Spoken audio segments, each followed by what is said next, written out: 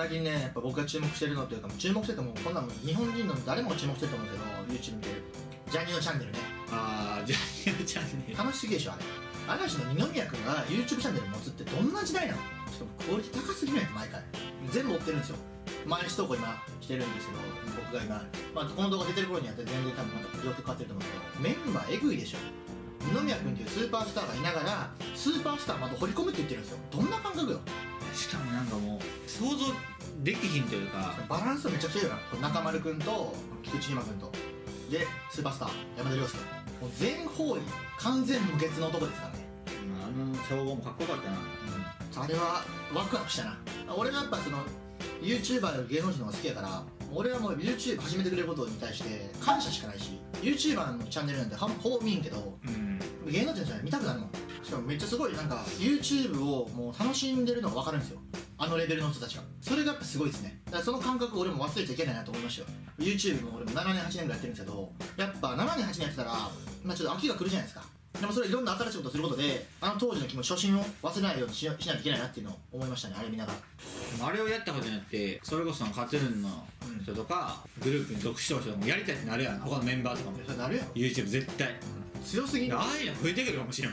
二宮君がグループ YouTuber やったよねだからその俳優さんとかも、うん。その事務所で4人とかでグループ組んでうん。やってくるっていう時代になるかもしれんから。可能性全然あるよだからそれこそ YouTuber 俳優アイドルが組んでやるとか。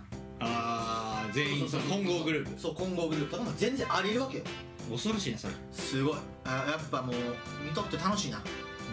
あとやっぱそのジャニーズってこんな顔面強いんやっていうのを改めて思わされるから見とったらノーマルカメラでどんだけかっこいいねんっていう。一発撮りや。肌死ぬほど綺麗やしなんかもうどこからも視覚がないやん。うん。こんなレベルなんやっていうさ。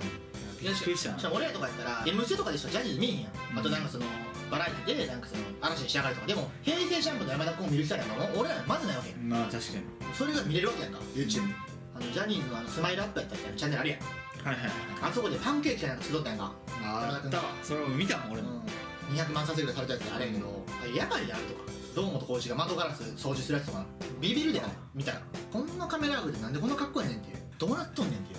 掃除しとんのに掃除したとこも映ってへんし掃除する前も映ってへんから。へえ。そんな動画で。顔だけない。さほとんど顔だけみたいな。出しとんやんて結構前に自粛期間中とか。これやっぱジャニーズを好きっていう遺伝子が多分もう刷り込まれとると思う。幼少期の頃に。ジャニーズ見すぎたから。今でもやっぱジャニーズを追ってしまうもんなああいうなんか37歳になって二宮君が多分37歳ぐらいだと思うんやけどなって一度もう日本で大成功を収めてもうここ以上ないっていうぐらい成功を収めたんです日本で。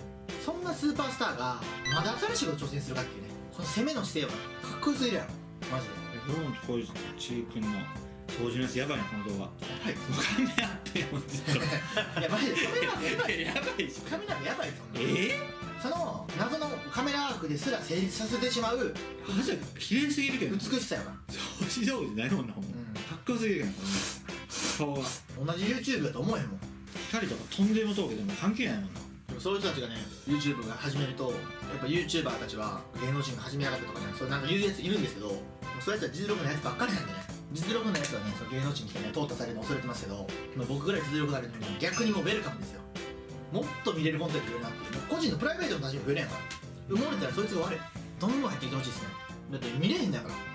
なかなかそういう姿を、そういう番組ってやっぱ結構減ってきたわよだからゆるい日常を届けるみたいな。もう企画力ありきのなんかやつとかクイズ系とか。しかもテレビ見なくて俺からしたら二宮君を見れるの嬉しいもんな。昔はだってテレビ見とったとか家族で嵐に仕上がるとかまあずっと嵐とかあの秘密の嵐ちゃんとか見とったわでドラマとかもたまに見とったわだから自然とそんなにジャニーズの人見とったけど今ってテレビ見ひんから YouTube に載っとる人しか分からん。うんそういう人多いと思うよテレビ見んくなって YouTube やったら見ようってなるっていう人。で全部見ながら俺マジで、うん。全部見てまうもん。スーパースター公認したわほんま。強いな。でも今後あの流れは絶対増えるやろ。なうん。このグループ YouTuber に。うん。芸能人の人がほんま組んでやる。俺みたいな特別ファンでもな人間こんな若くしてことはもうファンの人に死ぬんちゃうあれ見て。半分も。う気絶した人おるんじゃんマジで。でぐらいのレベルですごいことだと思うで。ですごいことやる、うん。まあ、番組やんあんなんうんいや余裕で。多分だって山田君と二宮君を両方押しとる子からすればもう絶対交わらへん世界線だわけやこれでも、うん。これが急にバン交わったわけ。ビビるんちゃうマジどうなんやろほんまに。どぎも抜かれてほんまに。50回くらい見るんちゃう同じ動画。そのレベルですごいことやね言った。らうん。YouTuber のそのコラボなんかと気にならんぐらいすごいことや普通にありえへん世界線が交わってしまったみたいな。うん。本物のアイドルってさ俺みたいなアイドルに興味もない30近い大人をここまでさ興奮させるんや。すごくない？同性からも好かれるアイドルってかっこいいやん。だって俺セクシーゾーンとか菊池優馬君が多分動画の中に入れとったんやて。えそうなんや。ビビったもん。10年目なんやと思って。全然俺の YouTube 歴長いんやって。そうすごいなと思って。だからめっちゃ若い。俺イメージあったずっと今だけじゃあ若いイメージやな。うん。シーズンそんな経つんや。で数えたケースでちょっと間違ってたら申し訳ないんですけどえ。山田君だって28歳だよ今年。やばくない？俺コメント欄まで見とかな何万件あるから見れへんけど上の方にあるやつ。それで数えて書いとったの28そう。誕生日5月で28になるって数えた気がする。で菊池君が27歳で年めっちゃ近いなと思って。なんか俺山田君なんか永遠の22歳ぐらいと思っとったからさ。